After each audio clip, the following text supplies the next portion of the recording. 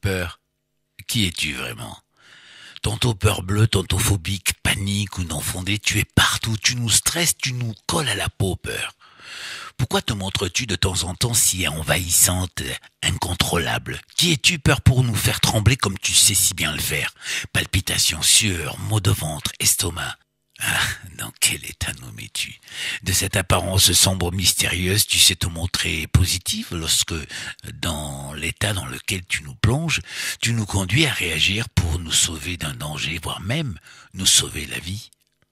Toute notre gratitude pour cela peur pour nous donner la sensation d'exister et transformer nos émotions en montagnes russes, champions du monde peur. Pas besoin d'aller dans des parcs d'attractions pour éprouver toutes ces sensations. Elles existent à l'intérieur de nous et tu sais très bien nous le rappeler. Au moins, tu nous montres que nous sommes vivants. Es-tu vraiment celle que tu prétends être peur? Ou plutôt, celle que nous pensons que tu es? Là est la bonne question.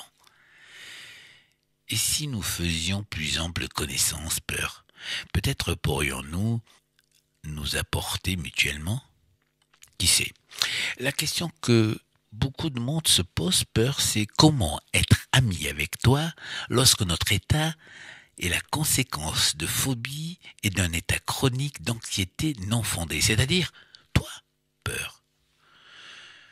Euh, peur puisque la vie nous amène à nous fréquenter, à cohabiter ensemble régulièrement, pourquoi ne chercherions-nous pas à nous apprivoiser l'un l'autre?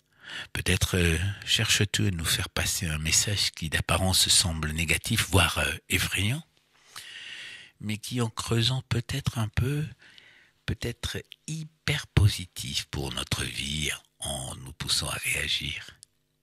Et si nous passions à côté de quelque chose d'important en ayant peur de toi? Peur. Apprenons à nous connaître. Nous avons tout à y gagner texte publié par Karima Rostan.